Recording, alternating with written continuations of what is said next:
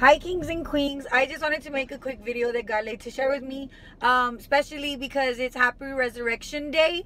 I don't celebrate Easter. I celebrate God's resurrection, which is he is alive and he lives in us, through us, guiding us. In the mighty name of Jesus, I pray that y'all are blessed.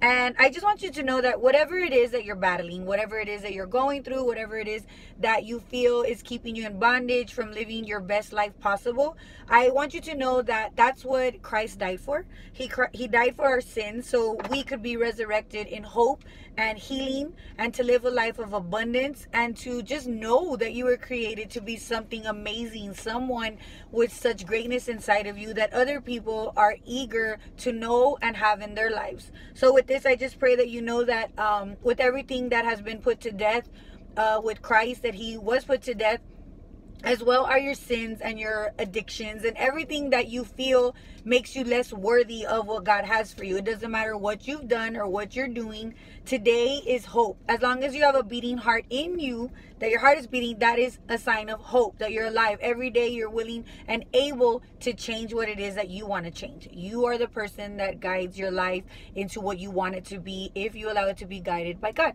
So, happy Resurrection Day. I pray that y'all have an amazing, blessed day, for you have wisdom beyond your years and to have healing that allows you and just put hopes in you to be all you can be that God created you to be. So God bless you abundantly. This too shall pass. God is at work in yesterday, today, and tomorrow. Bendiciones para todos and happy resurrection day. I love y'all dearly. Love Lord and Esme. Bye.